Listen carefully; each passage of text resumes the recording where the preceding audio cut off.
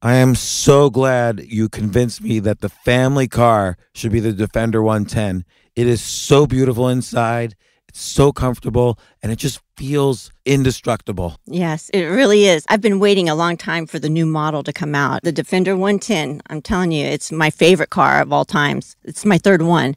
You know, I have stories of going off road. The guy managed the group. He was like, What are you doing in this beautiful car? I'm like, I'm going off road. He's like, Are you sure? Because you can use one of ours. And then they look like Mad Max cars. I'm like, No, no, no, no, we're going to do this. And he was shocked. Wow. Well, it's great because the Defender has been reimagined for 21st century adventure and its unparalleled off road ability, as well as its robust interior, are invaluable whether you're headed towards uncharted territory or just a weekend of exploration. The Defender 110 tackles challenging surroundings with absolute confidence. The SUV conveys strength outside and in, featuring peerless technology like an intuitive driver display and an award winning infotainment system. That's my favorite part to keep you connected no matter where the journey takes you.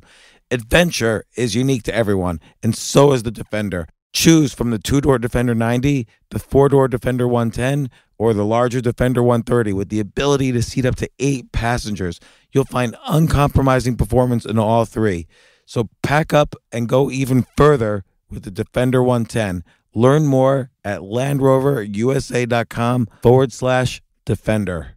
Sometimes it takes a different approach to help you unlock your true potential. Capella University's game changing FlexPath format helps you learn at your own pace and fit earning a degree into your life. From before you enroll to after you graduate, you'll be supported by people who are invested in your success so you can pursue your goals knowing that help is available if you need it. Imagine your future differently at capella.edu.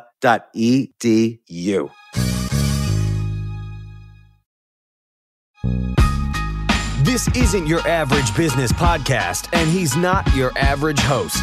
This is the James Altucher Show on the Choose Yourself Network. Today on the James Altucher Show. We're all creative, wildly. So the first principle is everyone's creative. We all have it natively. It's our birthright. It's what separates us from every other species on the planet. Thing two, that it's a muscle, it's a habit, it's a process, not a product. So acknowledging that creativity is a process, that it's a muscle and it needs strengthening. The third principle is, and to me this is the aha, is that by creating in small ways every day, by having a habit and just acknowledging it does not have to mean you move to Paris, start smoking cigarettes and, and, and wears the beret and gets the new friends and all these things that are very creative. No, just by creating in small ways every day, building a business, making a meal, baking a cake, um, how you express yourself. It's in those small exercises every day that you actually realize that you have agency to create your life. They're the same muscles, the same muscles yeah. that you use to write in the morning, to practice stand up comedy. Those are the same exact muscles that you use to create the arc of your life.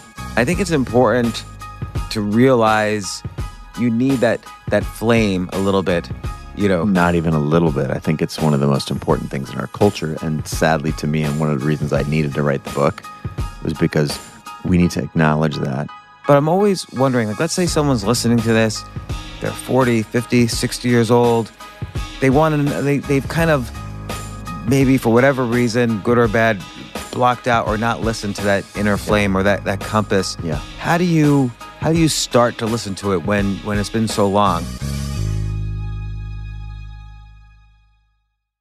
Um, all right, we'll get started. There's so many ways I want to introduce this guy. Um, I'll just say real quickly Chase Jarvis, one of the best photographers in the world, also the founder of Creative Live, uh, which is all these master classes on creativity, peak performance, everything. It's if you haven't watched Creative Live, you've gotta you've got to check out just all of the 100% of the episodes he's had there. I've been on Creative yeah. Live, right? Or yep. a version of yep. it. Yep. Uh, and so, so this is Chase Jarvis. You just wrote a book called Creative Calling, which I really think is a Bible of creativity. Like I read and reread. I started folding pages, and I then I realized. That, by the way, I, I, realized I was folding every page. so then I started like outlining, but I didn't always have a pen around, and so I don't know. I just ended up essentially realizing every page is going to get folded, and I'll have to figure it out as I go along here. Um, but first off I have to give you a big thank you that's three years overdue when I was on your show, the first thing I asked was, How can I be a better photographer? I had never really been a photographer, but I was always intrigued. I love looking at photography and I wanted to learn what you would say.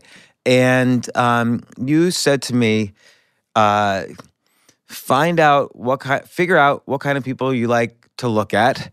And I said to you right away in response, sad people. And then um, you said, okay, go outside, find someone who's sad or you like their expression on their face, and go up to them and say, hey, can I take your photograph? Which was, I thought, was an interesting way to do it, as opposed to just taking their photograph, because there's that extra, that there's that extra challenge there. Which, upon thinking about it, was interesting because that proves you really want to do something artistic if you force yourself that extra challenge of going up to them and and asking them Yeah. hey can i take your photograph so actually can i show you the first photograph Please- i took please that do. day Please do. uh, uh, then later i put it on on instagram i remember i was in a restaurant shortly after and i saw a guy who I was in a hotel restaurant and, and I didn't know if this guy was traveling or foreign or he just looked kind of sad and, and intense. So I took his picture and then for for about a month I started taking pictures like that every single day and you know not that I No, gave but- up but I just moved on to to different things but But how did that? How did that process feel like? Oh. So- I loved it. And you know, other people, I noticed other people I knew, like in my different communities I would interact with and so on, would start posting, hey, everybody start checking out James's photo of the day. Because I was doing it every single day. I would challenge myself to do it every single day. Um, let me find the first one. Uh, oh, yeah. This guy, he was just sitting in the restaurant, and I went oh, right up to him. That's amazing. Wow, this was the first. This was, That was the first one, following your advice exactly. I'm good. I went up to him. I, I went up to him and I said, "Can I please take your photograph?" And he said in some kind of accent, "You know, sure." And I went up really close and and took it's it. an and I amazing really, photograph. I think that actually ended up being the, the best one out of the out of the month. But then I started doing it every day for quite some time. Like uh, you'll you'll appreciate some of these. Like um, uh, like like there was this one. I was just walking by Times Square and saw this situation. Two people kind of like lying on the ground. Wow. n- not as good as that first one though. I think in composition. Compositionally, it's not as strong as the first one. This one that I'm looking at now. But take for example, like that is definitely there's emotion in this photograph. Yeah. And part of that, there's this human connection component, especially because you said you wanted to photograph people. And you don't have to coach them necessarily. That's sort of manufacturing a photograph. But just connecting with them, even for a moment, is it, it, it elevates the photograph dramatically. I mean, it, this is a secret that I think most people wouldn't acknowledge. And for example, when you, you asked me, and my, it was an intuitive answer. I mean, I remember you saying, "Hey," before it was like I was ten seconds. I was just finishing my intro, and you're like, "Wait a minute, I have a question before we start." And I was like, "James, we've already started." And you said, "No, no. How do I be take better photographs?" And it was just my intuition that said connection. And that photograph that you showed me is evidence. And it's also evidence of another thing that we're all creative wildly. And you know this about yourself. We can talk about it in a second. But um, to me, your ability to pick up a photograph or to pick up a simple technique and execute it on day one, how many hours after we did our podcast, like to me, that's that's remarkable. Well, well, I really what you just said was very interesting connection because let's take that and I I have 30 photographs here but I, I, we don't obviously we're not going to go through that. but uh but in that first photograph I was really feeling empathy for mm-hmm. this man on a journey who seemed either sad or lonely or whatever. Whereas in that second photograph, where these kind of like No connection. drunk kids or whatever were just lying on the sidewalk, passed out, I did not. I felt to myself instead of instead of feeling any kind of empathy towards them, I felt to myself, this will make a good picture, which is the wrong way I, to think. I think that disconnects.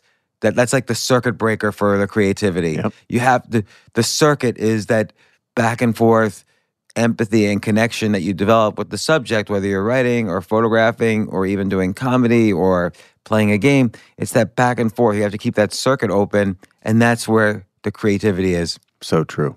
And then there was another thing I noticed too, which is that when I took a good photograph and let's say I posted it on Instagram, I wouldn't care at all, like zero, how many likes it got. Like I could, I had negative care. Yep. Whereas if I took something and I'm like, oh, I want this to be a good photo, then I cared. And it's the same thing with writing. When I write something and I finish That that, last to be true. sentence Yep. and I know this is good, I'll post it.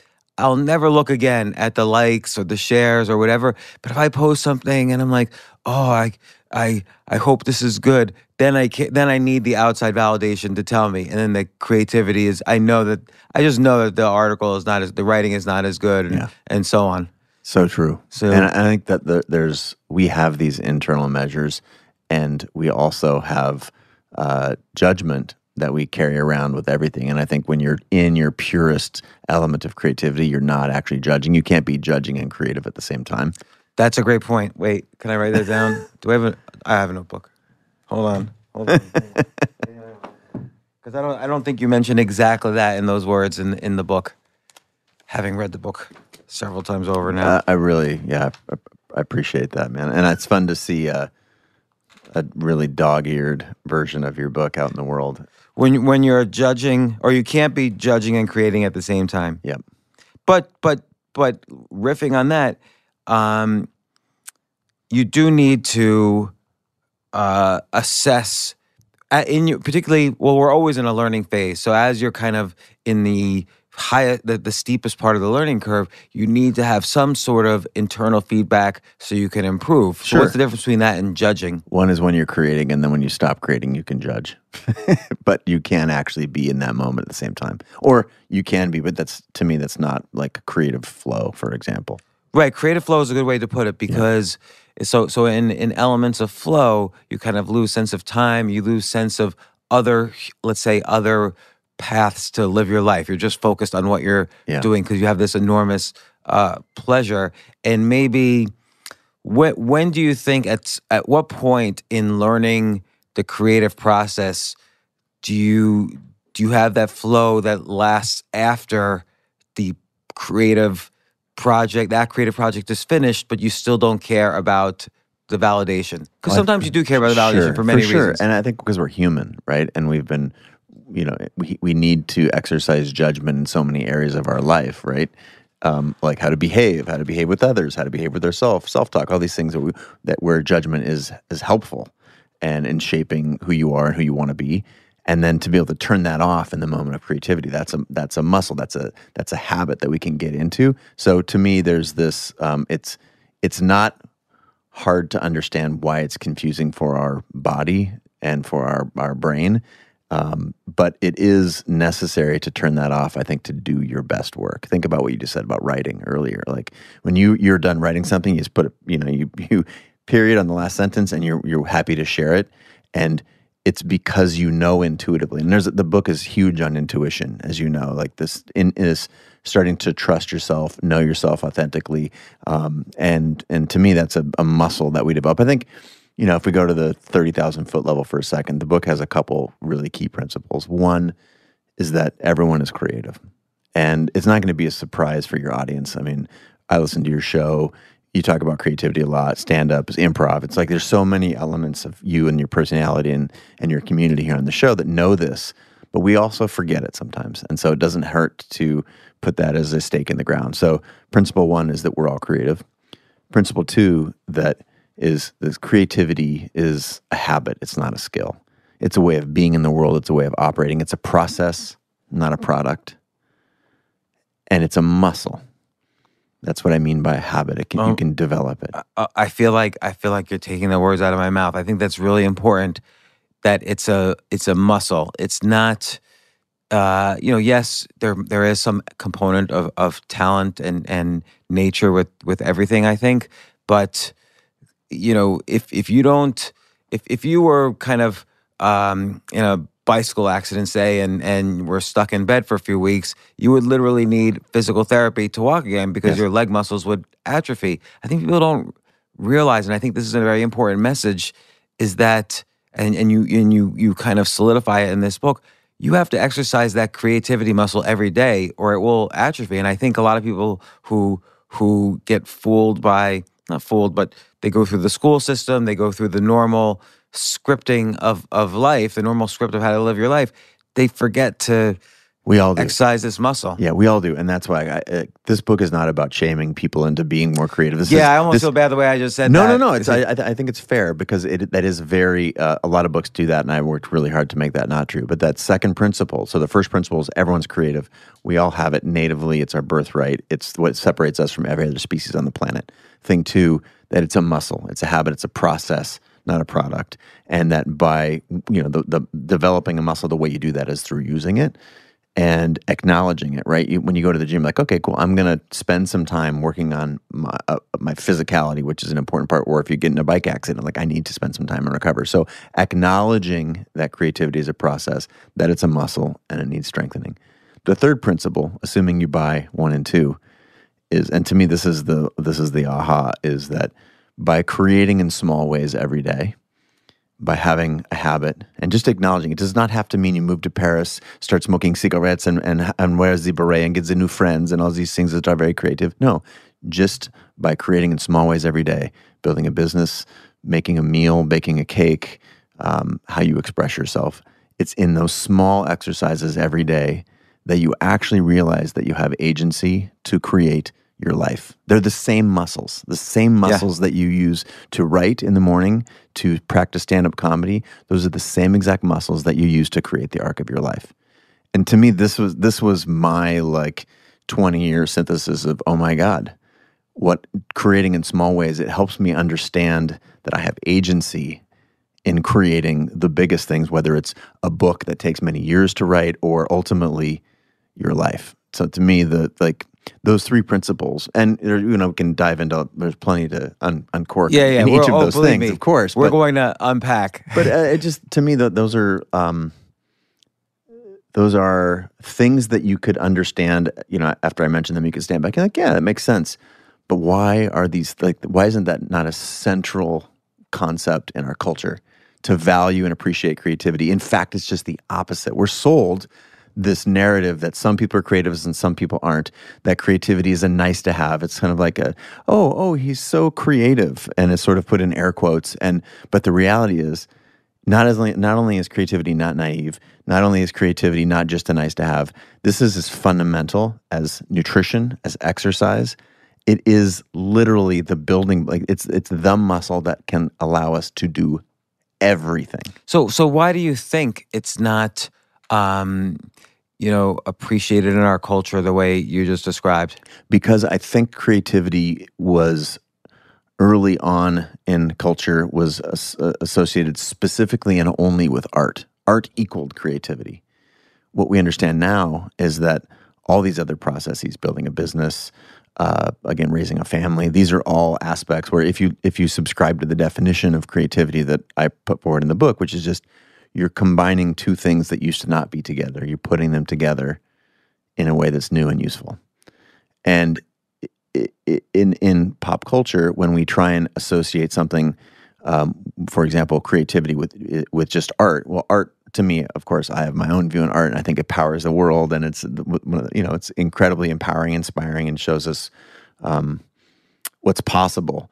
But if you expand the definition of creativity to include, as I just did right there, it's basically everything. It's the building block of everything you know to me that all of a sudden gets really interesting that the biggest the solutions to the biggest problems that the world will ever have and ever know access to clean drinking water uh, humanitarian crises all these have fundamentally some creativity required in order to create a solution And even on, even on just like a human personal level, like if you kind of step out of the box a little bit during each day and experiment with doing some creativity, Yeah. I just think it leads to a happier richer. life. for sure. There's more depth there. And and again i don't want to get too um, too analytical or too academic or pedantic because we all know what creativity is. And you just ask and here, here's just simple litmus test ask any first grade classroom who wants to come up to the front of the room and draw me a picture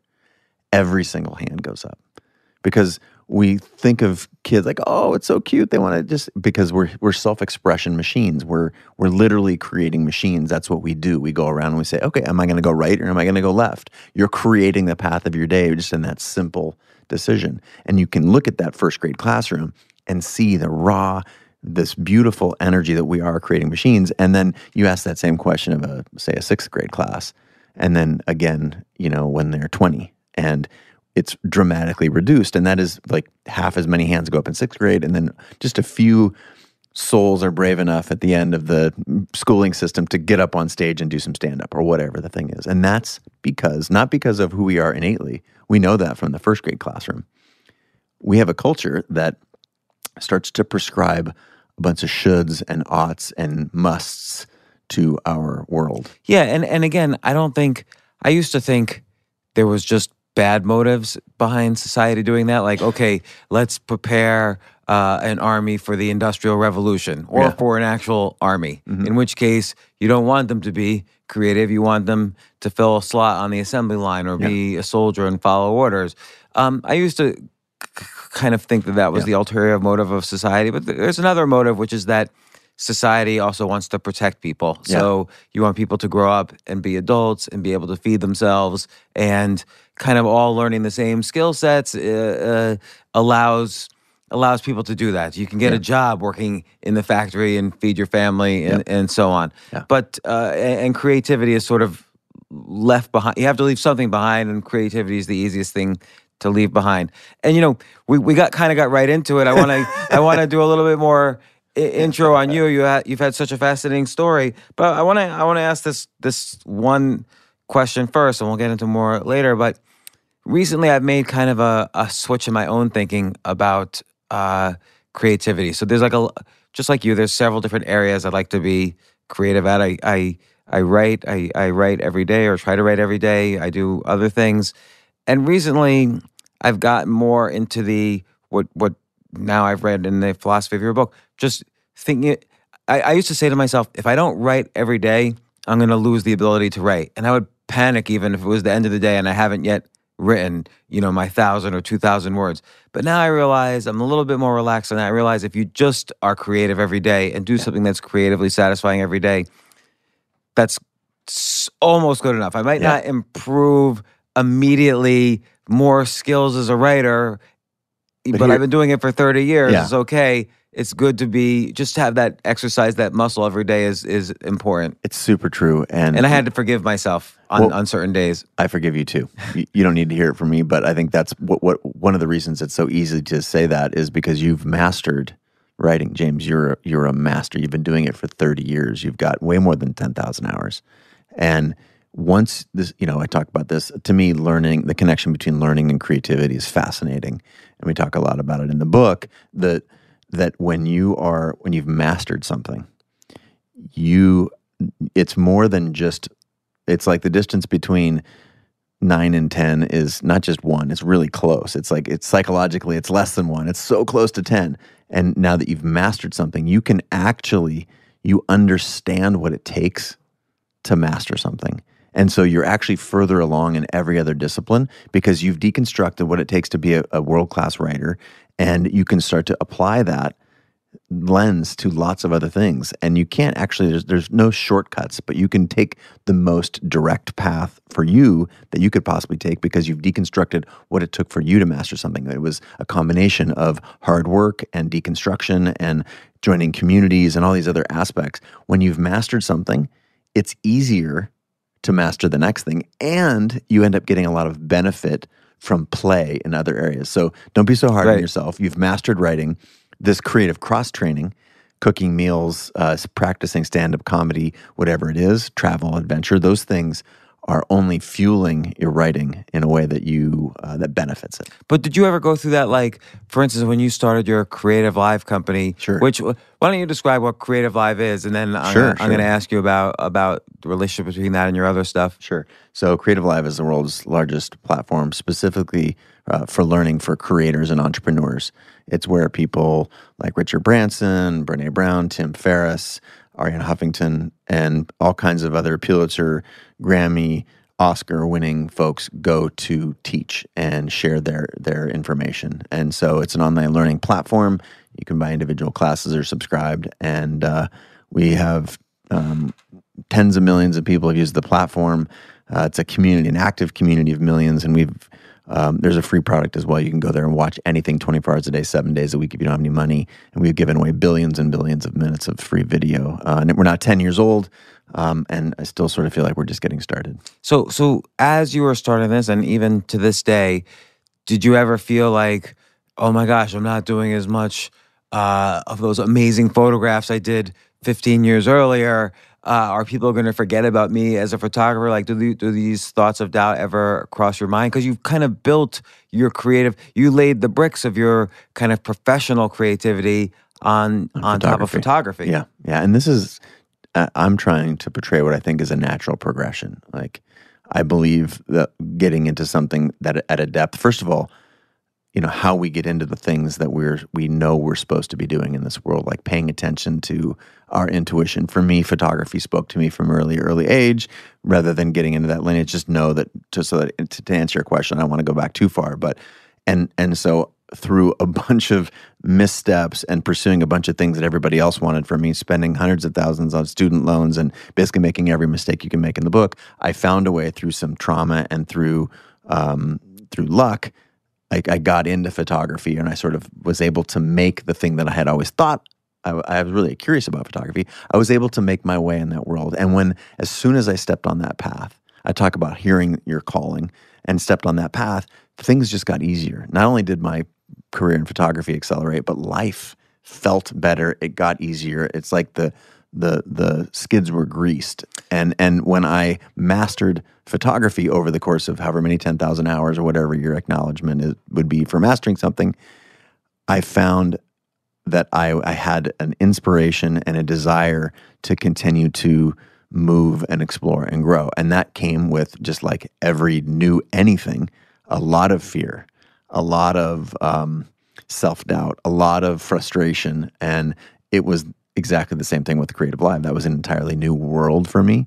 Um, I even developed some iPhone apps. It was sort of like an interim stage between being a photographer. That was my on ramp to the startup world. Is I did the first iPhone app that allowed you to take pictures, add cool effects called filters, and then share that on social media. It ended up being a photography is pretty popular today.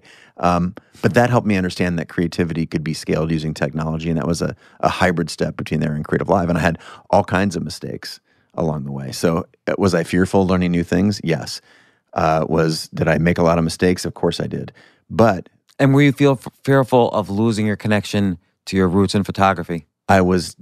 To me, I never left photography. I just stopped doing it for Nike and Apple and a lot of the biggest brands in the world and hanging in galleries and stuff like that because I really had, and, and I still feel this, I have a deep connection to photography. It underpins everything that I do. Um, I'm a visual learner.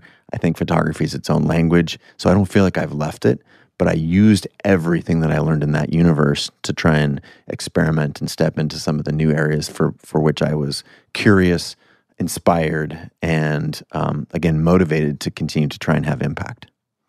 You know, um, while you were talking, like you, you kind of like touched your heart, like in terms of, you know, when you were talking about which, you know, when you started doing photography, you realized this was the right path for you. And then it's kind of that feeling of each step of the way where I, I don't know how to describe it, like where the where the fire is lit and where it's not lit. So for instance, you started taking photographs, but then you you got involved in another thing that you were interested in, which let's call it extreme sports or sure. snowboarding, skateboarding, yeah. whatever. And that kind of fueled the fire more. So suddenly you you know combining these two things you became very quickly to the top you know the front of the line in terms of the best photographers of photographing these types of things yeah. and that was led completely you called it intuition but again you're like touching you were touching yeah. your heart so like some fire is lit that that points you in that direction and i'll, I'll give you a, a simple counter example i have uh, i had and have an opportunity to do a, a, TV show about something, and I had pitched it. I had gone through all the the steps. Everybody was interested. You know, networks were interested, are interested, and but I I stopped for a second because I realized there's something wrong. Like I feel like there's something making me unhappy about the amount of work this is going to require for me and why and that normally wouldn't bother me but why does it bother me and i realized i had an ulterior motive i simply wanted to do this to increase fame level mm-hmm. not that i loved it Yeah. and so i've been kind of shifting direction since then and i think it's important to realize you know what what is the reason you're making what are the reasons you're making a certain decision you're going down a certain path and you need that that flame a little bit you know Not even a little bit. I think it's one of the most important things in our culture. And sadly to me, and one of the reasons I needed to write the book was because we need to acknowledge that and imagine it's not just you, James. Our entire culture is very busy for not always malevolent reasons. People have good reasons that they want you to do the thing that's safe and predictable and expected. And be- I call it beige. It's right down the middle. And two things are true. One, that that is a lie. so the, the two things are true is one that, that that is a lie. It comes sometimes from bad motives, but usually because people actually care about you. And the people who don't want to see you take risks are your parents and your high school counselor and your teachers and your friends. And it's because they care about you. And putting yourself out there can be risky, all, all the other things that can go along with failure. We understand that. So, first of all, that whole thing that you were just sold is a lie. Second of all, and to me, this is the part that um, I think is um, interesting, maybe, is that it is it's not safe. What they're telling you to do, they think they're coaching you to do the safe thing, but now is the riskiest time in human history to do the thing that has always been safe right because the world is changing so fast. The um, if you don't have a love and a connection and a passion for what you're doing, you're going to be isolated. You're going to be lonely. You're going to be sick.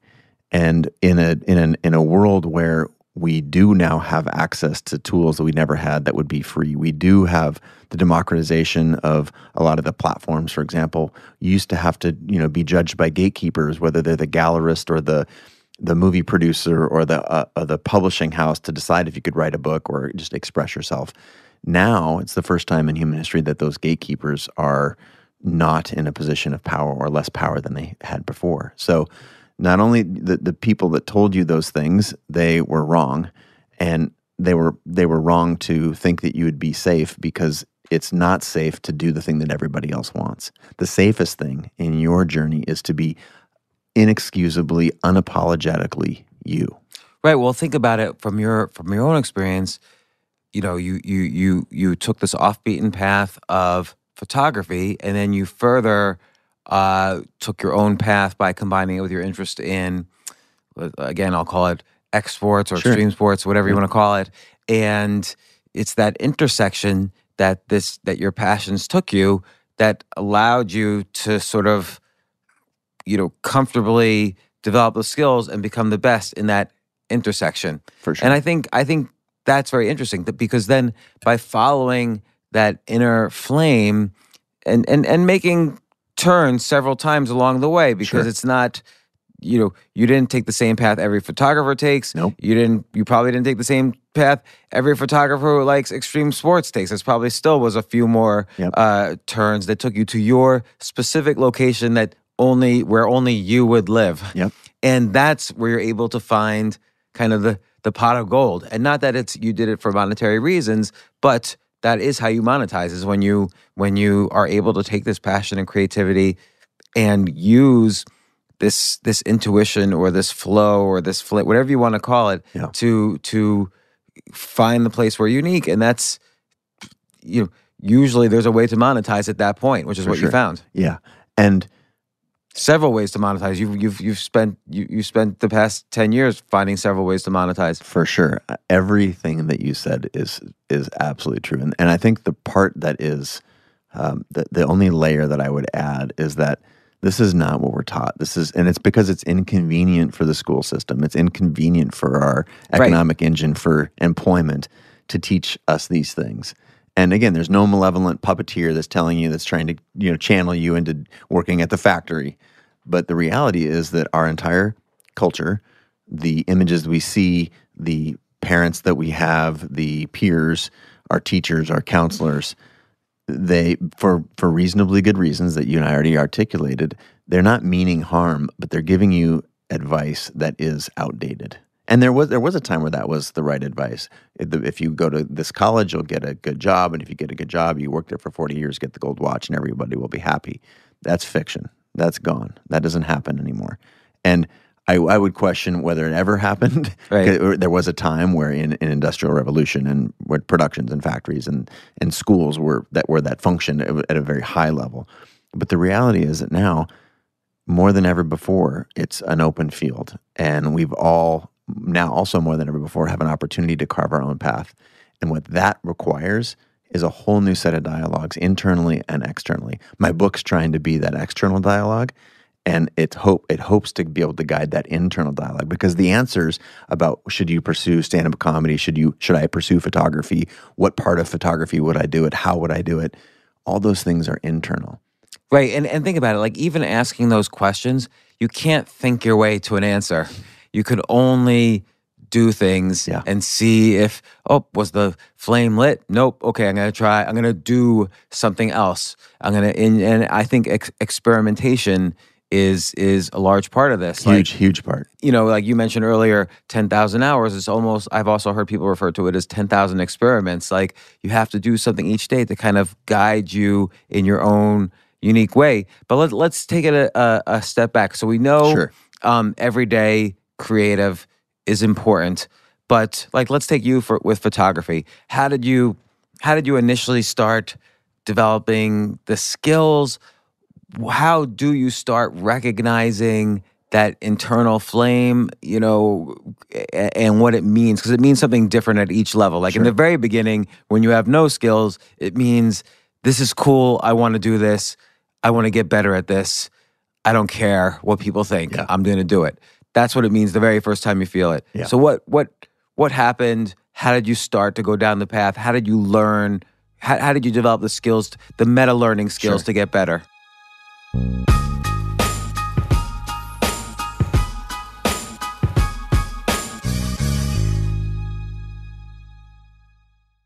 Oh my gosh, I love these clothes. Mizzen and Main. That's M I Z Z E N and Main. It really is the most comfortable work clothes.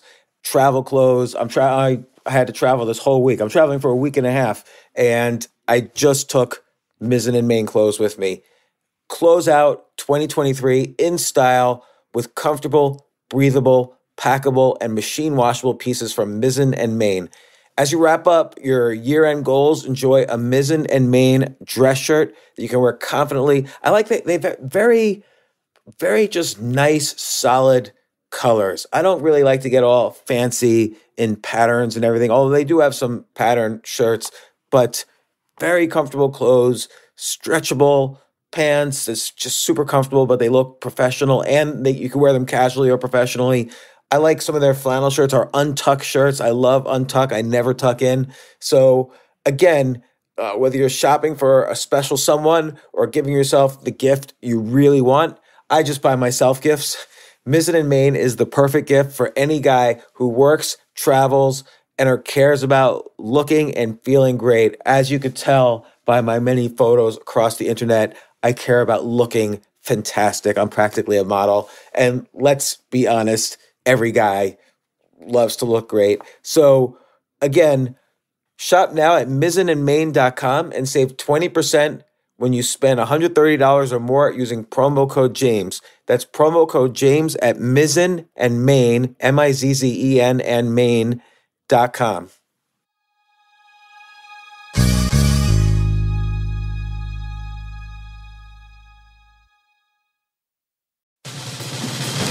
These days, we're all investors, trying to be smart with our money despite our worst impulses. But at iShares, we believe that deep down inside of every investor is a better investor.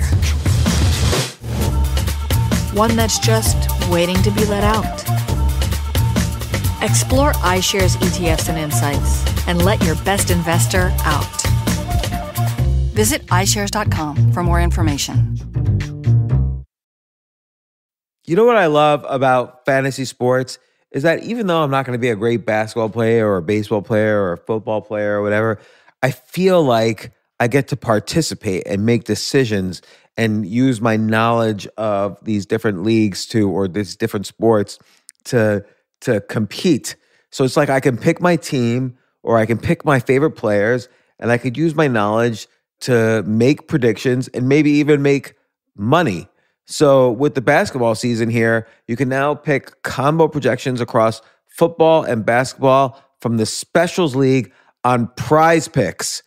This is a league created specifically for combo projections that include two or more players from different sports or leagues. Want to play alongside some of Prize Picks' favorite players like rapper Meek Mill and comedian Andrew Schulz, who's also been a guest on this podcast, and I've been a guest on his? You can now find community plays under the promos tab of the app to view entries for some of the biggest names in the Prize Picks community each week. Look, Prize Picks even offers a reboot policy so that your entries stay in play even if one of your players gets injured. For football and basketball games, if you have a player who exits the game in the first half and does not return in the second, that player is rebooted. Prize Picks is the only daily fantasy sports platform with an injury insurance policy. What?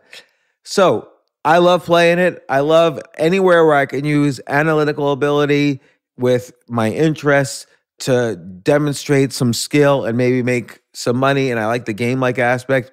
I do wish they had chess as a category on prizepicks.com, but I'll settle for what they've got. Maybe I should make my own fantasy chess league. But in any case, I love prize picks. Go to prizepicks.com slash James. Use code James for a first deposit match up to $100. That's the easiest $100 you're ever going to make. So that's prizepicks.com slash James and use code James. Daily fantasy sports made easy.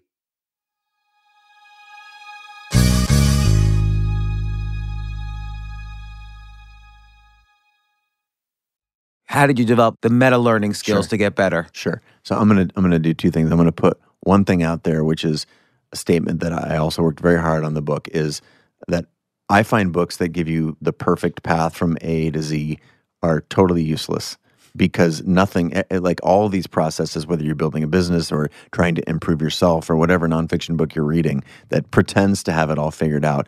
Life does not mimic that. Life is messy. And so when you ask me what my path was, I want to be sure to identify that I, I've I can now deconstruct what I think a good uh, model is to follow, but I don't come from a place of holier than thou. I, I mentioned earlier all my missteps, and you know I did the first iPhone app uh, way before Instagram that that did the same thing. Instagram is basically lift and stamp copy of best camera, and I'm not the billionaire. I lost a billion. Like so, there's plenty. Oh, and of, we're definitely going to talk about that as well. There's plenty of mistakes along the way. And so, um, in discovering what I know now, I just want everybody at home to, who's listening to know that it's all going to be imperfect. And because I'm talking eh, on a podcast with you, I don't want to pretend I've got it all figured out. And, and, and by the way, I think that's important. That's a good way to kind of a uh, good litmus test on on self help books, which is um, I prefer self help books that are like Mad Libs versus uh, how to. Yeah. yeah. So um, so yes, physical being healthy physically is important, but then it's a fill in the blanks. Yeah. For everybody, it's going to be different. Some people will eat keto. Some people will eat vegetarian. Some people will go to the gym. Some people will walk up and down the stairs. Sure. So so for everybody, it's a more like at some point there's a fill in the blanks component, Yeah. and I think the more of that. The better. Yeah. Else, it's just like, well, okay, then you write in your gratitude journal, then you juice kale, and all that stuff's like too hard. So I get anxious. Yeah. Uh, just started a list of the things that you have to do in order to fill in the blank. Yeah, I get it. Right, but but but I but you know I do think how you describe your process Sure. will extrapolate. Of course, there's no question. That's why I, I was it's just a qualifier, but I do think that that there's uh, value in answering the question and talking about my my individual process. So, um, I remember very distinctly, as if it was yesterday, um, my second grade classroom.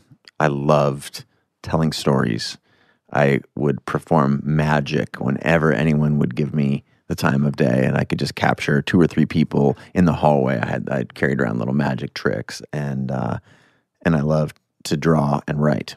I used to draw comics. I had a- my own comic. His name was Clyde, and I, he looked like a combination of Garfield and Grover, and um, and I I drew comics, And then I remember at the student teacher conference, I overheard my mom and my second grade teacher talking. And my second grade teacher said, You know, Chase is much better at sports than he is at art.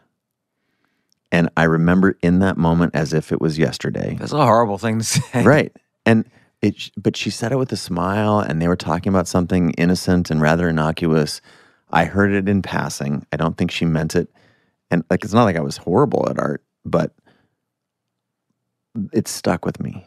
And it was clear to me that how my personal path at that point changed. I mean, it was in an instant. And I didn't like not do whatever, if we had an art class, I did the projects, but I began, it shifted my identity from creator or creative to, oh, I think I need to be a jock if I'm going to find acceptance. Well, and, and also, right. So it depends on where your center of kind of personal gravity is. For so, sure. So if it's outside of you, if it's somewhere in between you, your mom, and your teacher, and and sports is kind of at that center of Yeah. gravity, then that's where you're going to gravitate. For sure. And I did that. And so, you know, why I'm recounting this is A, how valuable and important it is to understand the words that we use. Labels matter.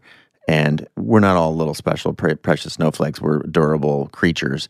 Um, and I'm living proof of that because I just went on a bent that now, for basically 20 years or 18 years, virtually alienated me from my creativity.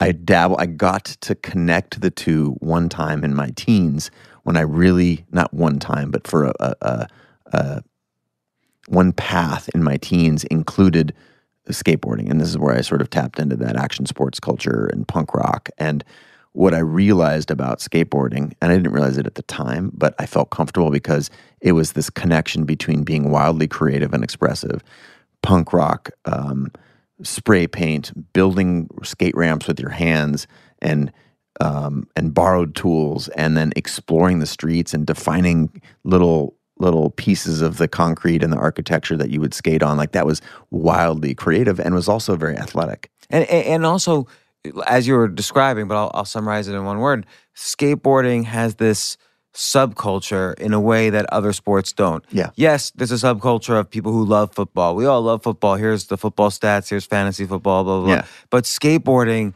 there's the clothes. There's the music. Yeah. There's there's this the The ethos, graffiti. almost, there, yeah. There's the youth. There's the the rebelliousness of it. Like Yeah. I don't. Where you grew up in Seattle, but um, you know, in California, The whole West Coast, yeah, yeah, up it was, and down, yeah, it, it was kind of made illegal for a Yeah, while because yeah. kids were getting hurt, so that made it more underground. Yeah. and, and then you know, X sports made it made it big again. So so so again, that you were looking for some kind of subculture as well that was creative. connection is part of what I was seeking and an explanation of wait a minute, how can I? I've been put in a box by my second grade teacher. I was happy to live there because I didn't know any better. And oh, and then it's like you got a whiff of something that gave you a fuller picture and that connected more dots than you were able to connect on your own.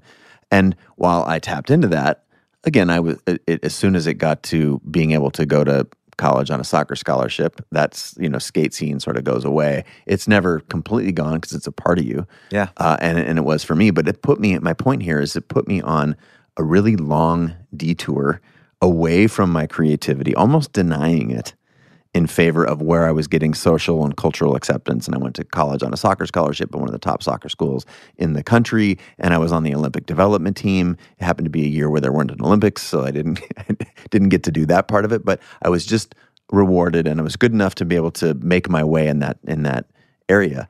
And then something really uh, horrible happened, which is my grandfather dropped dead of a heart attack. No no foreseen like didn't have ailing health and you know just boom here one day gone. And he had been he both he and my father had been hobbyist photographers.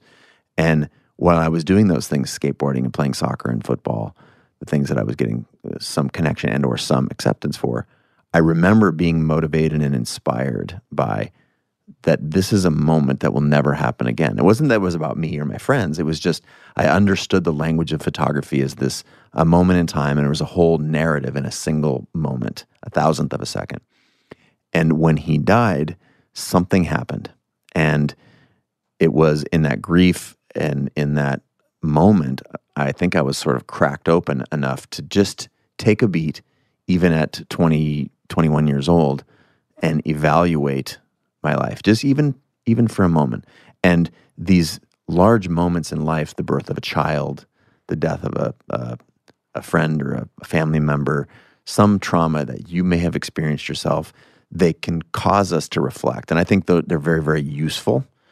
Um, and yet, I wish we didn't have to. I wish we were able to be more in tune with ourselves on a regular basis, such that you could get this from a road trip or a Vipassana or some uh, some nice way to stumble into this information. But for me, I was cracked wide open, and that you know the cracking open of the heart it helps you understand things about yourself. So it, it was there just long enough for me to acknowledge that I was denying what I now know is a very important part of myself, which is my creative self.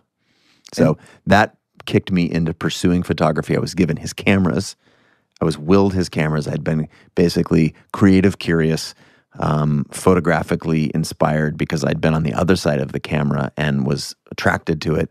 And then um, had got a little bit of money from his passing and his cameras. And um, I got a, like a 14 stop plane ticket to Europe with my then girlfriend, now wife, right on the backside of, of graduating college ate beans and tuna fish and lived out of a backpack for six months and taught myself how to take pictures. And and when you say taught yourself, like obviously you because you, are going to so many places and you're you're you were on the move. You weren't you didn't sign up for like No. you know the school of photography and here's like No. courses Monday, Wednesday, and Friday with this No. professor.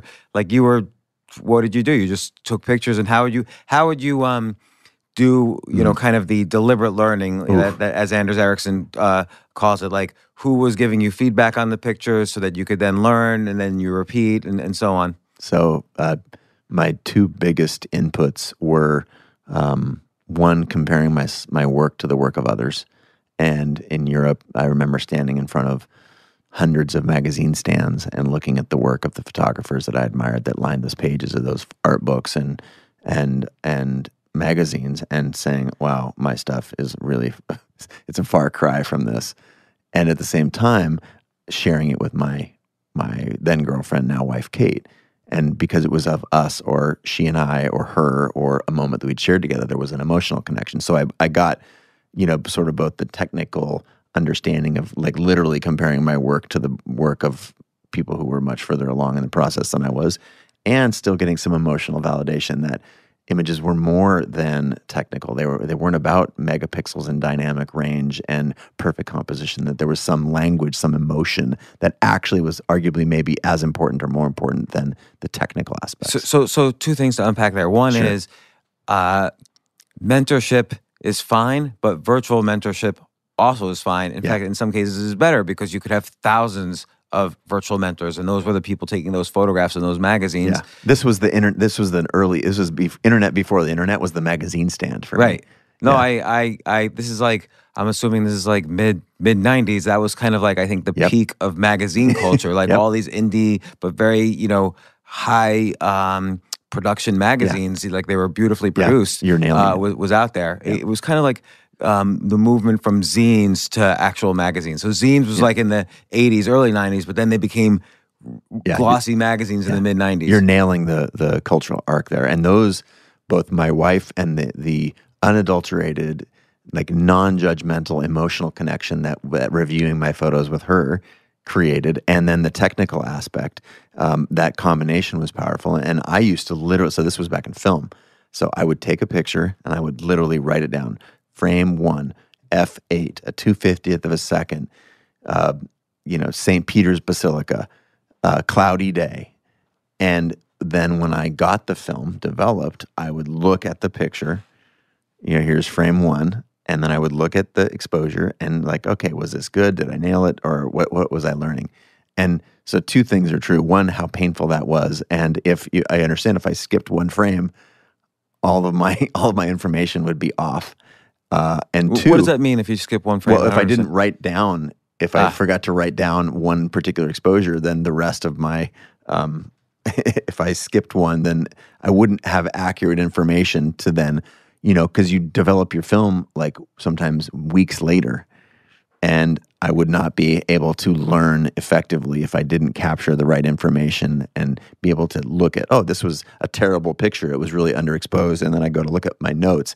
If I hadn't taken the right notes or put them in the right spot, then I wouldn't be able to learn from that experience. So it was very slow and painful, very analog way of learning. But that but that uh, documentation is is really critical. Super So, critical. so like for instance, in in in I'll just say it as an analogy, but uh, in stand up comedy, you have to take video of your performances Yep. because I'm there might be a time where I think, man, I did I did great, but then I'll watch the video and I'll see, oh, for some reason I'm hunched forward a little more than I should be. It looks like I'm a little m- nervous, and now nobody seemed to pick up on that, but the audience, just like with photography, the audience is an X-ray machine. They know they know what's going on behind the scenes, and they could they would just react better if my shoulders weren't hunched. Yeah. Now, but the other thing I, I noticed in what you said is you're you would get feedback or you would uh, see if these photographs would elicit uh, an emotional reaction from Kate. Yeah. Which implies you have to have someone around you.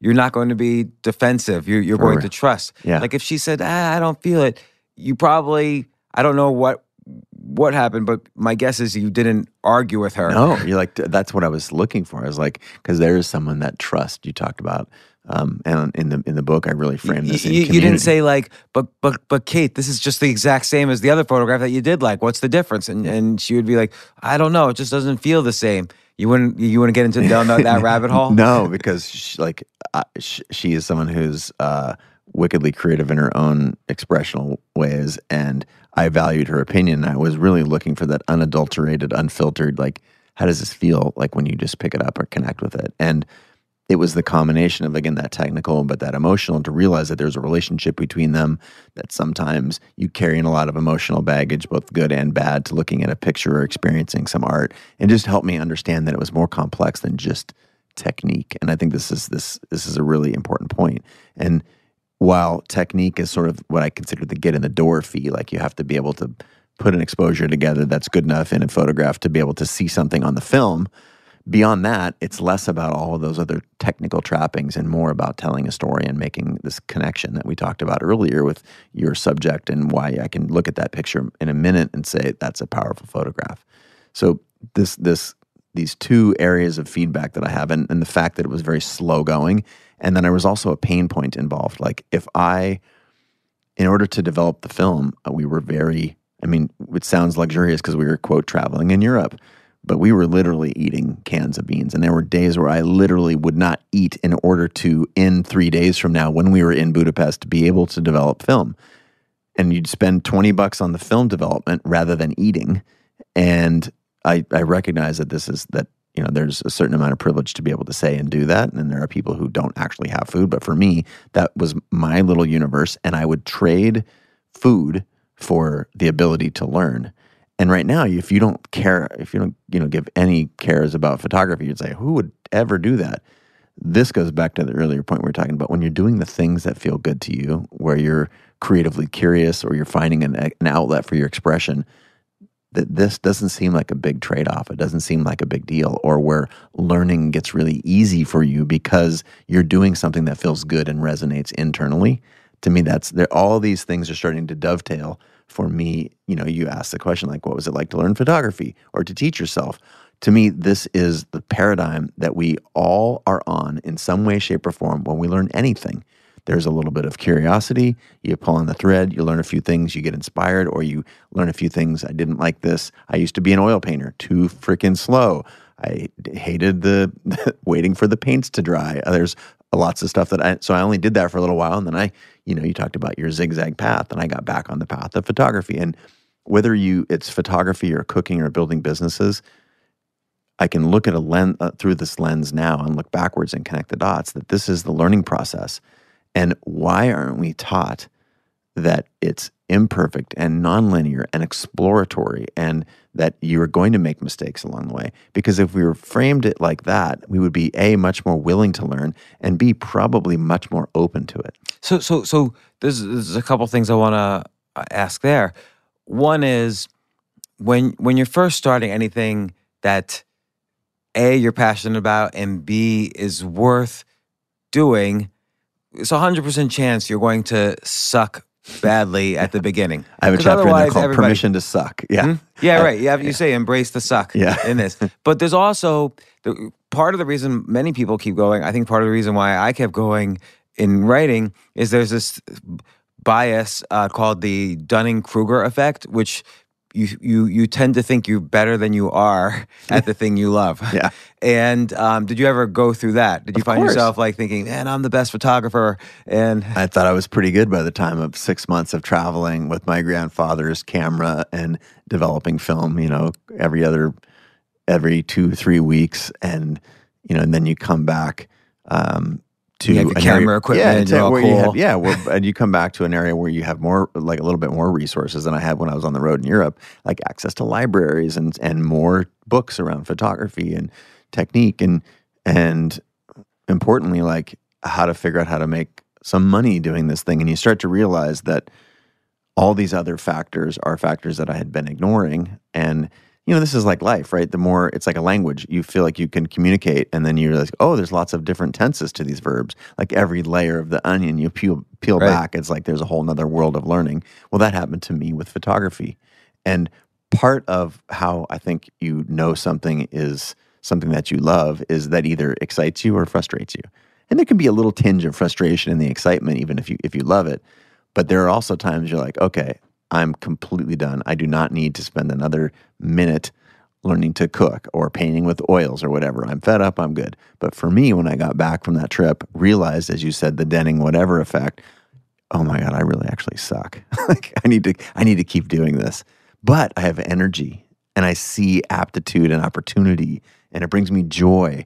And you know, attuning to these characteristics in not only our creative lives, but our lives in general. Like to me, that's where the best stuff is. And and I think you use the word joy. I think overall joy is more important than um, let's say this kind of constant happiness. So Yeah. for instance, if if I'm watching my favorite TV show, I'll be constantly happy. And then at the end of it, I'll just have spent 300 hours watching my favorite TV show with nothing much to show for it. But like if you're again, if you're trying to get good at something that's difficult, there's going to be a lot of points of feeling horrible because you realize like you're looking at these photos in the magazines and then you're looking at your own photos. There's at some point you're every now and then you're going to say oh my gosh i am horrible. I'm never going to be this good. I'm disappointed in myself. This is not worth it. I'm not happy because it can't be all joy i mean it can't be all all fun or else you wouldn't try to get better For sure. And this is also where you, you cited my my wife Kate on this earlier, but that's why community is so important. And and having the right community for sure, not just any community, and finding a community where you both are welcomed and feel welcome. And uh, there are two sorts of community I talk about in the book. Um, one is the communities that you tap into that exist out in the world, and another is a community that you start to build around your very own work. And to me, like you tap into other communities. You know, I use my own examples to what we've already talked about the photography community and the action sports community. And then there is a community of people who were action sports photographers. So there's all kinds of communities and sub communities for you to tap into and and learn and get fa- validation or support or criticism or all those things. And all that is very, very, very useful when y there's that gap that you recognize between where you are and where you want to be and you can get both encouragement and feedback and all those things from from those communities that exist and then there's also the work and the community that you start to build around or sorry there's the community that you start to build around your work. And at first it maybe it is just a community of two myself and my wife kate when we're backpacking. We didn't have any other audience. There were no other friends and no internet. I wasn't showing it to the random strangers on the on the street. And then that community when i got back expanded to include my parents and my friends. And et cetera, et cetera, et cetera. And you start building a community around your work. And this community doesn't have to be millions of people. We can reference Kevin Kelly's uh, article, "A Thousand True Fans." If you have a thousand fans in in in your corner, you can basically make a living and a life doing what you love. Uh, it doesn't mean you have to have millions of followers on Instagram. What if you're a blacksmith in Jackson Hole, Wyoming? Your community of people who appreciate your work maybe is the 12 restaurateurs who you take care of their knives. Whatever the whatever the size community, it's not about that. But having a community to, to reduce all this last you know 90 seconds into how important community is to growth, to connection, and to our creativity. And so, so, and and just to also reiterate what you said earlier, I think every path is different. Like, uh, my entrance into writing, for instance, is different than your entrance into photography. For sure. there might be some intersection in terms of sacrifice because you always because you're gonna you're about to embark on spending a lot of hours on something. There's got to be some sacrifice in in exchange. But my reasons for starting were, were very different, and for continuing were, were, were very different. I think also that's related to doesn't matter what age you are. Like you could have started this journey today. Yeah. You could start this journey. You mentioned someone who's 63 years old who starts their creative journey. Yeah. I don't think, you know, there's that saying the best time to start uh, a, a new creative endeavor is 10 years ago and today. Yeah. And I think that's really important to to to note. And again, as part of this Mad Libs approach to creativity. But um, uh, you know, one thing about community though that I'm curious about when you start entering into the community of photographers, or if you're any creative and you start entering into the community of the creatives, there's a danger point there too, which is you don't necessarily have the ability to judge if this particular group of creatives is good community for you or not. You're not entering just a community, you're entering a hierarchy. We're, we're tribal animals ranked from alpha to omega. And so if you think to yourself, oh, well, I should be, if this guy's getting published his photographs in this magazine, I should be. And, you know, there's a little bit of competition. Not everyone has your best interest at heart. And I could be telling my own story, but I have a feeling I'm telling every creative story. You got to just be careful when you enter into any hierarchy. There's Sure. there's there's a ranking, and no, not everybody wants you to immediately be the alpha. For sure, for sure. And to me, the the barometer there, the litmus is how does it make you feel? I think that's really important. And, And, connection and um and inspiration and a little grit. Like those are all that's a really helpful alchemy, those things. And there are also communities that feel toxic and where and again, this is gonna be up to each, you know, each their own, but I think your point is super well taken that this is not uh, just sign up at the nearest community. These are, it's not dissimilar to how to decide how to spend your time. Like you want to spend your time doing things that you love around people that you like and with goals in mind that inspire you. And the same is true with community. I, I think this is such an important point because, and I don't, and and by the way, it's not.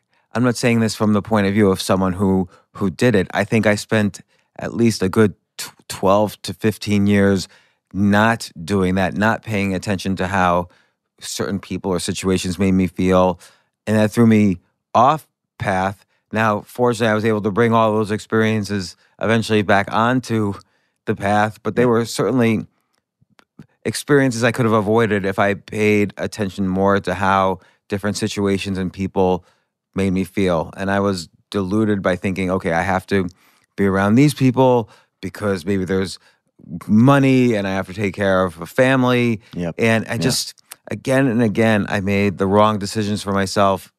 Uh, and it's my, and the fault is not, the fault really boils down to not paying attention to how certain people made me feel or certain Yeah. situations. And it's not their fault. It's my fault that I didn't No, pay more attention to this. But I, I don't don't beat yourself up because we're taught culturally that there is that the answers are out there and it's very external and you get validated and you fit into tribes and all all those other things. And and I think that's part of being awake enough to hear what we're supposed to be doing in our lives is a similar level of woke to how does something make us feel? And we the reality is you know the science is pretty clear. Rational cognition relative to sort of intuition like rational is really slow and loaded with biases and all these things that we we basically over-index and give it give it too much credit. And yet when you have a feeling about somebody sometimes you get proved wrong but you know like it doesn't matter it's not really a matter of right or wrong is this person good or bad it's just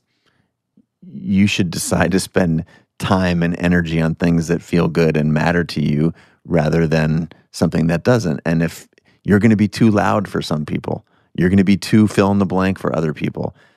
the challenge is understanding that those just then aren't your people hmm.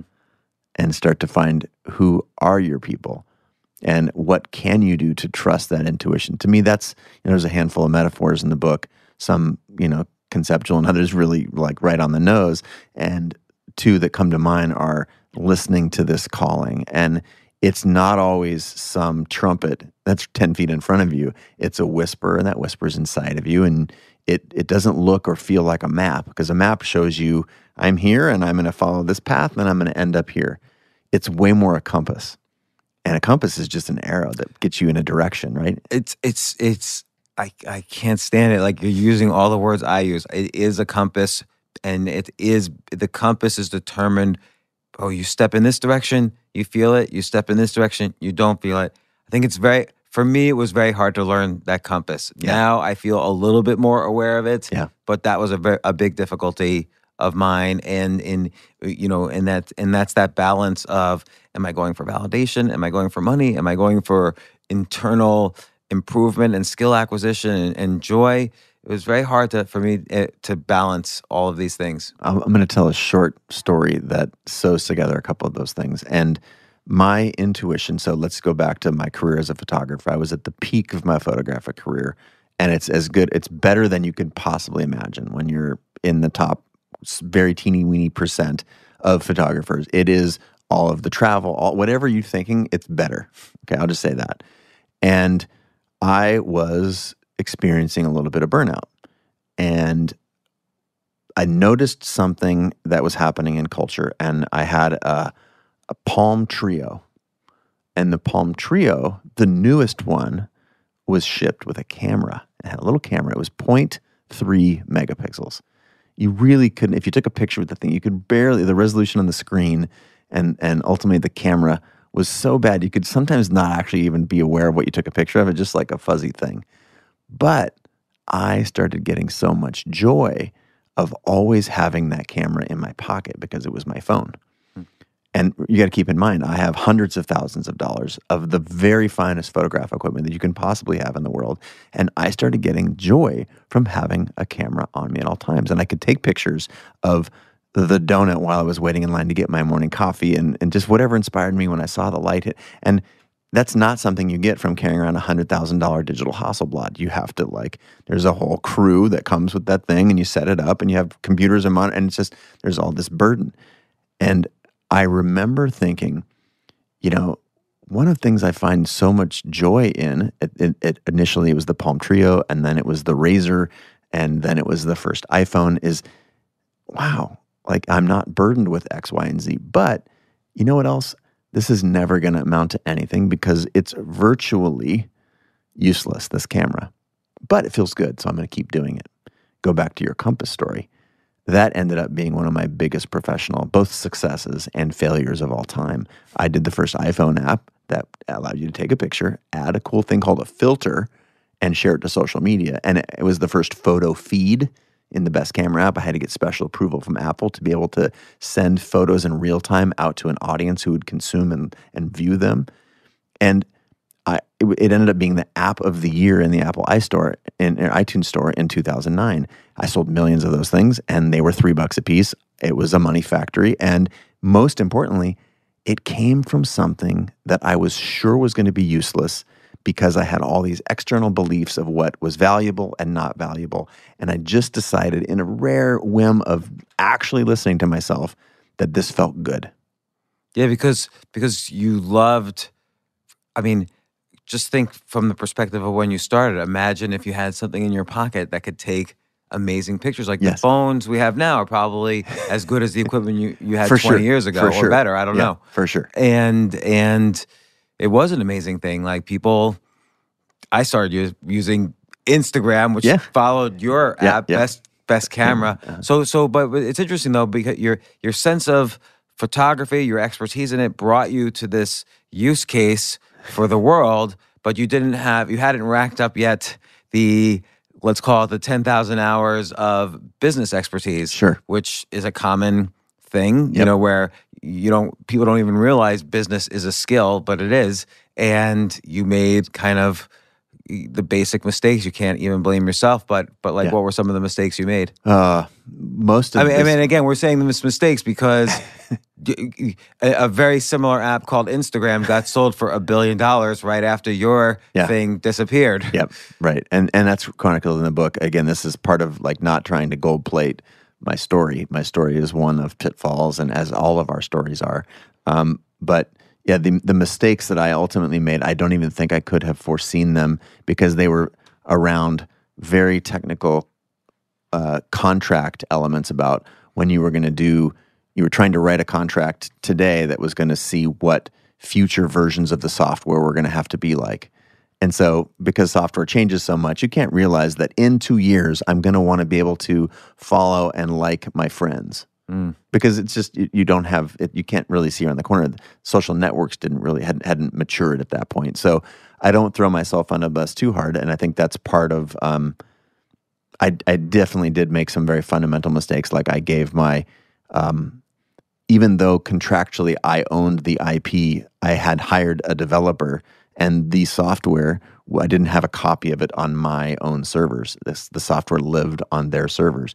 I used their Apple iTunes account to publish the thing to the store, so I didn't actually get the metrics.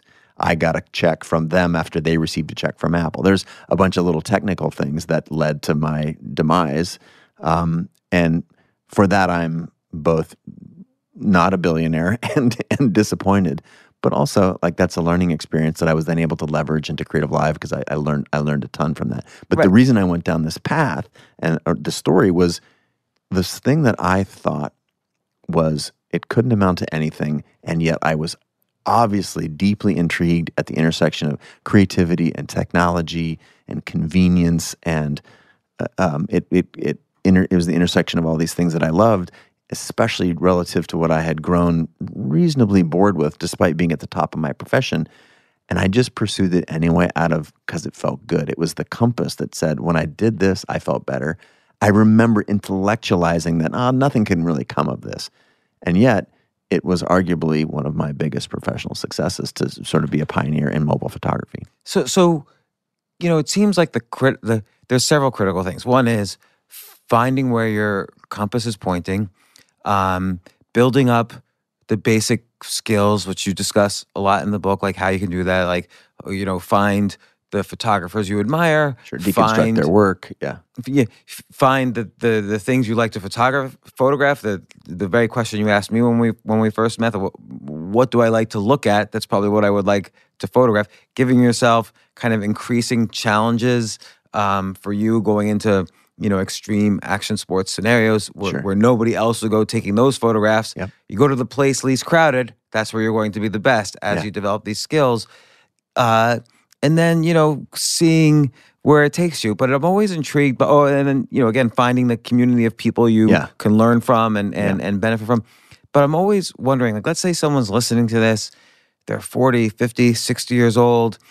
They want to, they, they've kind of maybe for whatever reason, good or bad, blocked out or not listened to that inner flame or that, that compass. Yeah. How do you, how do you start to listen to it when, when it's been so long? Right. First of all, you're not alone. That's the thing that you need to know is that there are more people that are like you than are not like you that denied this part of themselves or that uh, eschewed it because it was not practical. And I'm here to tell you that creativity is the most practical lever that you have in your life. Again, it can it can unlock um, areas of life that you didn't know or existed. It can help personally like what does that transform you. To me, creativity is so fundamental. It's as fundamental as exercise or nutrition, right? And we're creating machines. And by not even acknowledging that you are creative and that you have agency over what you do and don't do and how you spend your time or don't spend your time, you you sort of cram down and ignore that beautiful sixth grade or that sorry first grade six year old self that said i want to come up to the front of that room and draw a picture. And it's not just that you suppress it and nothing happens. That sort of eats away at you. It's because we're fundamentally human creating machines. So by telling people that they're not alone this is a uh, is, this is a lie that you were sold a long time ago when it wasn't convenient for culture. It was inconvenient for it to have a bunch of wildly creative uh, people who questioned the status quo, and so we had we, we had a school system, we had an employment system that were different. It's fine. I'm just here to say that now, even though you're not alone, now is the right time, and it, this does not mean giving up you know you have to move into a different house or move to paris or get a new set of friends. That is the wrong vision that you have of creativity. What creativity means is acknowledging that you're a creator and that you can put two or more things together to form something that's new, new and useful. And reality says you do it every single day. You're just not acknowledging it. So the first thing i want you to do is to call yourself a creator. Words matter. And if you understand that you say oh i'm not really all that creative that's fine Maybe you think of yourself as a math head, but just so you know, math is wildly creative. Wildly creative. Science, all science is like the wheel is mechanical engineering plus creativity.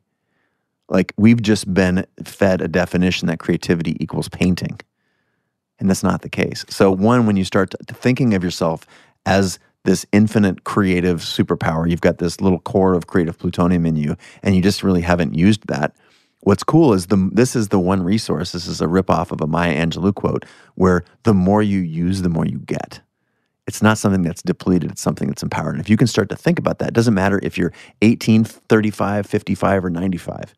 Like acknowledging and putting that creative muscle to work is is becomes effective today. The first time you do it a second time, you've seen a benefit from creativity, even if you took a step backwards, because you're exercising the muscle that ultimately will shape your life. So so so you know, and this goes along with what you're what you say throughout the book, which is daily, and you really cement this at the end, but daily creativity, doing something that you consider creative, more creative than your normal output, doing something every single day that's creative. What would be if someone again is just clueless on where the compass is pointing them? They want to know. Sure. They're listening to. They want to Sure. know. What are some things they can try? What are what? Are, let's call them experiments. What are some Sure. experiments or ways to think about experiments, depending on how abstract we want to get, that someone can do today? Sure. So I would actually bet that 90 I'm going to I'm going to go on a limb and say 90% of the people listening right now have taken a photograph with their phone in the past 24 maybe 48 hours. And it might even have been taking a picture of your a receipt to submit for your expense report at Deloitte. If you thought of that even for a moment that what I'm doing right now is choosing this thing, I'm choosing to take a photograph and express myself if you can take you can lift that phone up from that receipt and take a picture of anything within your field of view do it with a little bit of intention that will create that is a little creative moment that you are choosing. And again that might not be your ultimate creative expression but what that will do is realize that you just made a choice and that in that choice you have agency. And in agency you could see that you could do this again and again. So you don't have to look far. When you're preparing a meal for your family tonight and you're tired you got home from work kids are hungry the whatever you know narrative that each of us have if you think of that as an opportunity to just do one thing a little different to add one little special either spice or presentation or you can get joy from that and that is that is just awakening that muscle and then if you decide that I get more joy from cooking and less from photography or more joy from playing the guitar than I do from coding then start to do more of the thing that brings you joy. And what I'm hearing right now in someone's mind in I think it's in Indiana, they're saying, I don't have time. I've got the kids, I've got I got no extra time in my day. Great. What are you doing like cooking? You do you do you have to prov- provide for your family and put food on the table? Yeah. Great. There's no extra time involved. This is a mindset shift. You can acknowledge that instead of just making the Kraft macaroni and cheese out of the box, maybe you went to the store and you bought some special pasta, or maybe even gasp, you made your own pasta. My belief is that the kids are probably going to say, wait a minute, I like the Kraft better. But your husband, your partner, or on your own, you can say, you know what, that was, I, I brought me joy. And I don't know, I don't, I'm not trying to be prescri- prescriptive of what the joyful thing is. I'm saying that if you can find those things, it doesn't actually take extra time. It takes just an awareness and a mind shift that you can start to immediately get value. You know, um, I can't believe I just got the sign to wrap. Jay, have we actually been going for 90 minutes? Oh my gosh, there's so much stuff I want to Yeah, no, cover. that's good. I, I, I'm, let's let's make a lot of value in this last ten minutes. Let me see. I'm gonna I'm gonna look. I I've got un- things underlined. I got things folded. Um, Well, f- uh, um, while you're looking for a thing, James, that is in the book, um, you're flipping through. I, I want to say that before we recorded, and you said, like, I look at you as wildly creative. You're an amazing writer. You've mastered that stand-up comedy. You've built businesses, business after business, and that the book resonated with you as like there's like truth in here. To me, that that's helpful. I right, really because appreciate I it. I thought this was almost like like even when you use words like compass, which I've used as well. I felt like this was an outline for how I've approached my creative efforts. Uh, you know, one thing that you write about that's really interesting is what you call rejection therapy, like kind of trying to do things that are going to get you rejected. Because a you build up that muscle of being able to handle rejection and perhaps learn from it. Yeah. but i think also if you're trying to be creative at something and you want to there's no shortcuts but i'm going to say if you want to skip the line in ability yep. you don't want to take the safe path. You want to go where it's if you were given the choice to do this or to do another thing with your creativity you would take the harder choice. So in, in comedy you know the, a, a night of stand-up comedy is usually seven or eight comedians perform the third spot, the fourth spot, the audience is warmed up. They're not too drunk. There's not so much noise. They're ready for you. The worst spot is called the check spot. It's towards the end. It's they're tired. They're drunk. Yeah. So they're all talking to each other eh, rather than listening to you, and you have to perform, and you get crushed if they don't laugh. But they're not going to laugh. They're figuring out their tip. They're doing math. So, so the way to get better is to always take the check spot, Yeah. or to perform after the world famous comedian. You perform after Jerry Seinfeld. No one cares about you. They're Right. thinking about Jerry Seinfeld. So, if you're given the choice, do you go before or do you go after? You go after because that's where you're going to learn. Yeah. Is those challenges. And I'm just mentioning. I think we all want to improve as fast as possible, but it's not easy. You have to do these very specific hard challenges you have to plan on it. You have to plan what's going to be the challenge and what I do next. Like I, if I just write an article like, oh, this, this, this, if it's the same as everyone else's, it's not going to improve me. If it's something that I'm afraid to publish, that will probably improve me. If it's Yep. if it's if it's time I'm afraid to perform. If it's a, a speaking engagement I'm I'm afraid to do because it's an audience I've I have no experience with. Those are the things that will improve me. And I'm I'm just curious Yeah. your your your take on that. So I think um, being willing to be uncomfortable is a huge um, opportunity, and it's for all the reasons that you just cited. And I think just generally we have a biology that is doing two things. One, it's out there to make us uh, alive, not happy. And two, it's designed to keep us safe. So it's always dragging us. No, no, no, you don't want to do that.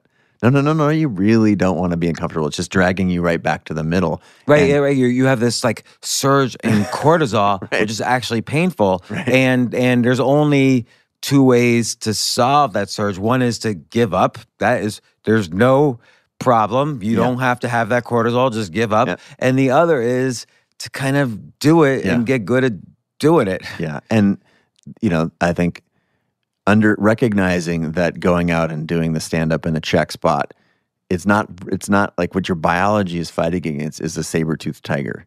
And there is no saber toothed tiger at the cam- comedy club. If people are not laughing hysterically at your joke because they're doing math around what the tip they're going to give to the server, like that isn't about you necessarily. And it's certainly not about a tiger. This is about being willing to make yourself uncomfortable and to develop that muscle, that habit of being willing to do it over and over and over. And that is certainly a mechanism for quick growth, as you talked about. Where did you do it in photography?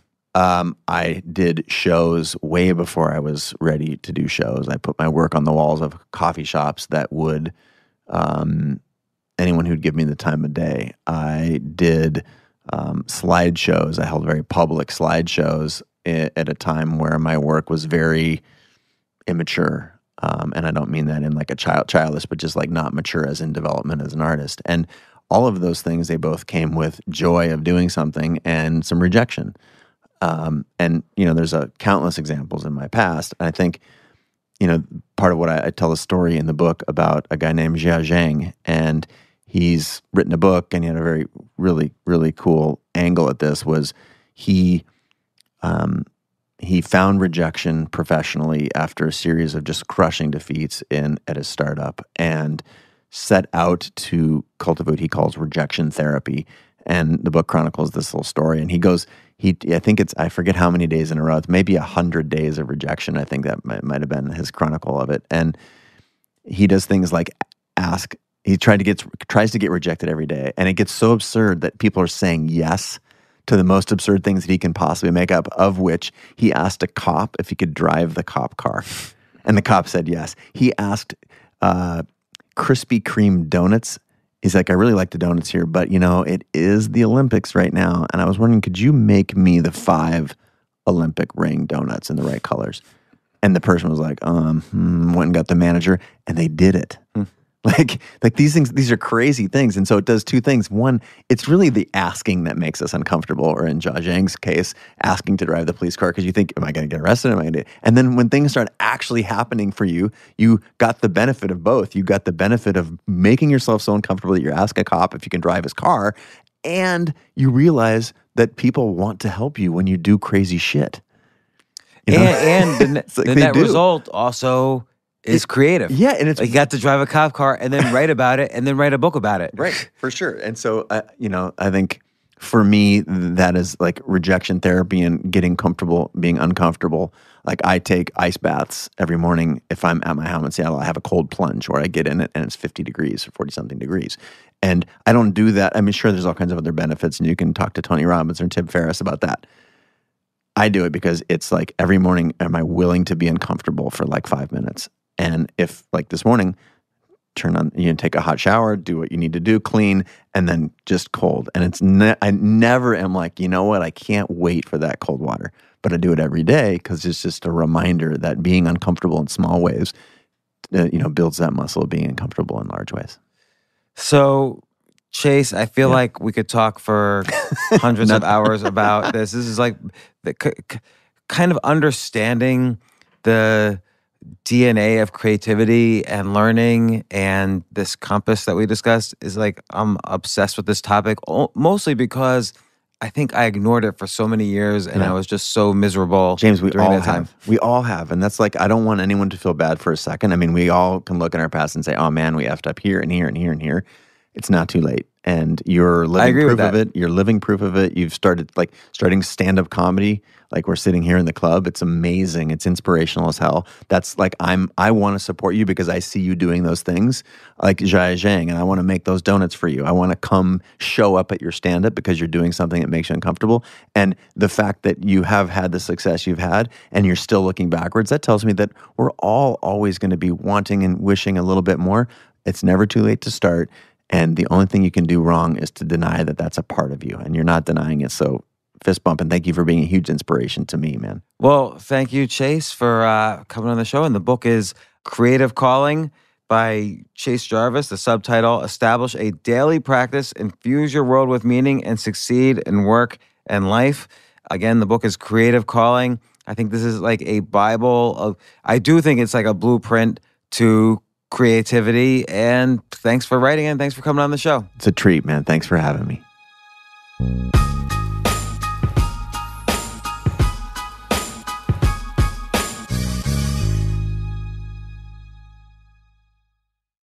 Your daily dose of gaming just got way more epic with the Snapdragon processor powering the Samsung Galaxy S23 Ultra. Snapdragon processors give you the premium mobile experience that triggers your inner champion. Whenever you want, wherever you want. Get ready for edge of your seat performance, advanced customizations, ultra realistic graphics, and adrenaline boosting speeds that have the power to move you in more ways than one. Follow us on Instagram at Snapdragon Official.